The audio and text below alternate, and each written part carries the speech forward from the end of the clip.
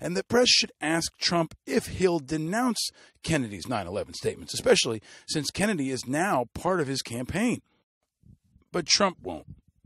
He won't get rid of Loomer, and he won't denounce Kennedy, and he won't even acknowledge the controversy around 9 11. Because it's just like Arlington National Cemetery. Nothing is sacred for Donald Trump and his team. And Loomer's presence is just another reflection of the dishonorable and disrespectful command climate that Trump promotes and accepts. From prisoners of war to Haitian Americans to 9 11 first responders, he respects nothing and no one. And if this is how he feels about the fallen at Arlington, and this is how he feels about those murdered on 9 11, how do you think he feels about the average American? How do you think he really feels about you?